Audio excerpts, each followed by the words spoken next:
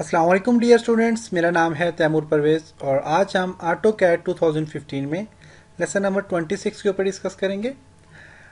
आज के इस लेसन में हम देखेंगे कि आप अपने ऑब्जेक्ट में किसी भी चीज़ को आप कॉपी कैसे करते हैं, कॉपी के लिए कौन कौन सी कमांड यूज़ होती हैं और कॉपी का क्या फ़ंक्शन है, क्या मकसद है।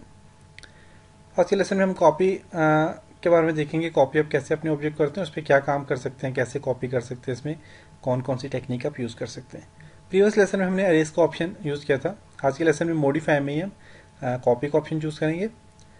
स्टूडेंट्स कॉपी का फ़ंक्शन ये होता है कि आप अपने ऑब्जेक्ट में से काफ़ी सारी चीज़ें जो ऐसी होती हैं, जो आप कॉपी करके एक जैसे दूसरी जगह पेस्ट करना चाहें या लगाना चाहें तो आप उसके लिए कॉपी का फ़ंक्शन यूज़ करते हैं। तो इसके अलावा जो दूसरे सॉफ्टवेयर हैं, जैसे कि ऑफ़ एम एस ऑफ़िस हो गया कोरल ड्रॉ फोटोशॉप जितने भी सॉफ्टवेयर हो, उनमें कॉपी के बाद हमेशा पेस्ट करना पड़ता है। कोई भी ऑब्जेक्ट अगर आप कॉपी करते हैं कॉपी के बाद पेस्ट करना पड़ता है। लेकिन ऑटो कैड में आप कॉपी करेंगे, करने का पेस्ट के लिए आप सिर्फ़ क्लिक करेंगे। जगह सेलेक्ट करके वहाँ पर क्लिक करेंगे तो आपका ऑब्जेक्ट पेस्ट हो जाएगा। तो इसके लिए पेस्ट करना ज़रूरी नहीं है कि आप एक जगह से कॉपी करें, दूसरी जगह पेस्ट करें नहीं।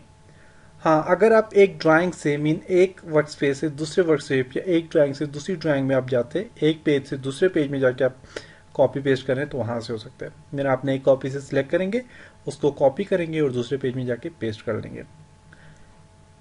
तो ये पेस्ट कॉपी पेस्ट का फ़ंक्शन यहाँ पे यूज़ हो सकता है। अदरवाइज़ आपकी जो ड्राइंग होती है, एक ही जो ड्राइंग होती है, जहाँ पे आप काम कर रहे होते हैं तो वहाँ पे अगर आपने कोई एक एक ऑब्जेक्ट जो है, दूसरी किसी लोकेशन पे पेस्ट करना है तो उसके लिए आप सिर्फ़ कॉपी की कमांड यूज़ करेंगे।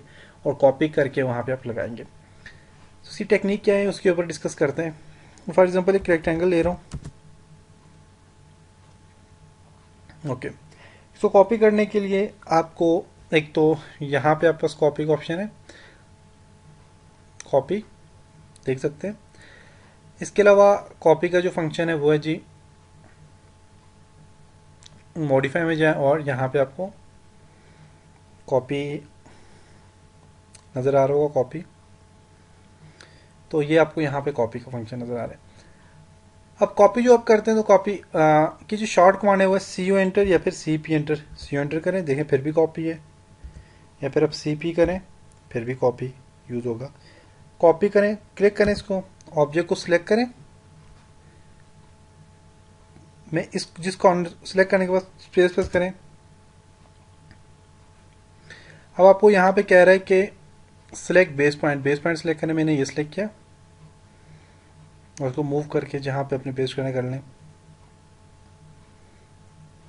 देखें जितनी आपने कॉपी बनानी बना सकते हैं। अब ये बिल सिर्फ़ इस तरह जा रहा है और वर्टिकल और हॉरिजेंटल जा रहा है। अब F8 प्रेस करेंगे F8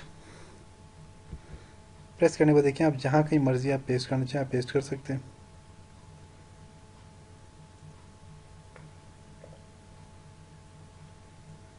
ओके okay.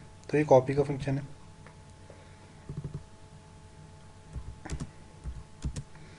इसलिए कॉपी आप एक स्पेसिफिक डिस्टेंस पे आप कॉपी करना चाह रहे हैं तो उसके लिए आप सी पी एंटर करें। ऑब्जेक्ट को सिलेक्ट करें स्पेस और यहाँ से आप कॉपी कर लें। इसको मैं स्ट्रेट एफ़ एट प्रेस करता हूँ। ताकि स्ट्रेट कॉपी और मैं इसको डिस्टेंस देता हूँ। कहाँ, कितने डिस्टेंस में कॉपी हो? हो जी, तकरीबन दस फिट के फासले पे ये कॉपी हो जाए। तो ये यहाँ से यहाँ तक ही दस फीट फासला बनता है, क्योंकि इसका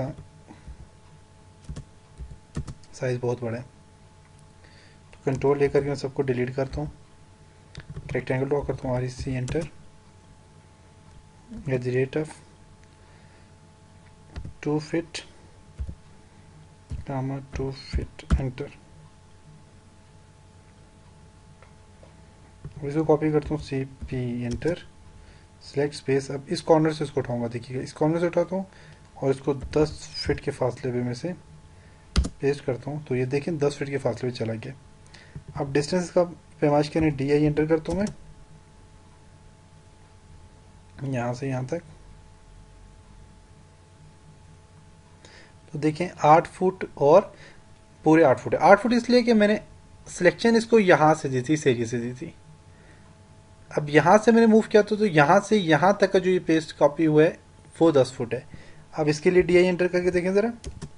तो अब यहाँ से देखिए क्योंकि मैंने सिलेक्ट यहाँ से किया था फ़र्स्ट पॉइंट ये था और सेकंड पॉइंट ये इसका। देखिए पूरे दस फुट आ गया। अगर मैं इसको इस कॉर्नर से मूव करता तो ये बिल्कुल एक्यूरेट दस पे आता। यहाँ से किया है तो दो फीट का तो हमारे पास यहाँ पे ये ऑब्जेक्ट है और आगे आठ फुट यहाँ पे चला गया। तो मेन ये आठ फुट आगे जाते हैं। तो आप यहाँ से इसको कॉपी करके आप एक स्पेसिफिक डिस्टेंस पे भी आप इसको पेस्ट कर सकते हैं। तो उसके अलावा आप अपने ऑब्जेक्ट को जहाँ से, जिस पॉइंट से कॉपी करेंगे, वहीं से आप इसको पेस्ट करेंगे। फॉर एग्ज़ाम्पल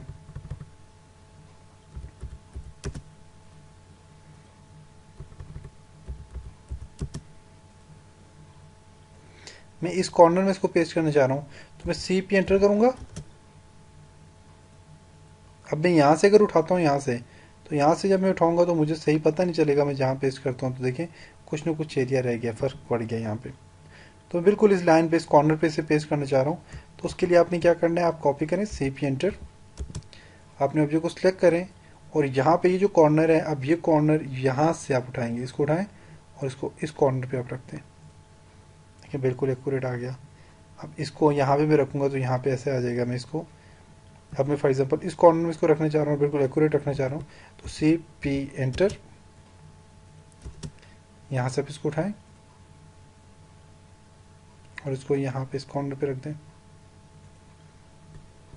देख सकते हैं आप।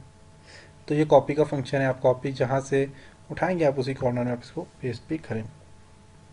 मिड पॉइंट में अगर इसको पेस्ट करना चाह रहे हैं, यहाँ पे मिड पॉइंट में ऊपर तो उसके लिए आप सी पी एंटर करें सिलेक्ट करें ऑब्जेक्ट को और राइट क्लिक करें और यहाँ से देखें इसका मिड पॉइंट कौन सा है। ये मिड पॉइंट है, यहाँ से उठाएँ और यहाँ से आप इसका देखें मिड पॉइंट कौन सा है। ये मिड पॉइंट है और यहाँ पे इसको पेस्ट कर लें। इस तरह यहाँ पे देखिए इसका मिड पॉइंट कौन सा है। ये मिड पॉइंट है, यहाँ पे पेस्ट कर लें। अब इसको मूव करते हैं नीचे। तो ये इसे मूव करते हैं आप तो यहाँ से कॉपी करें।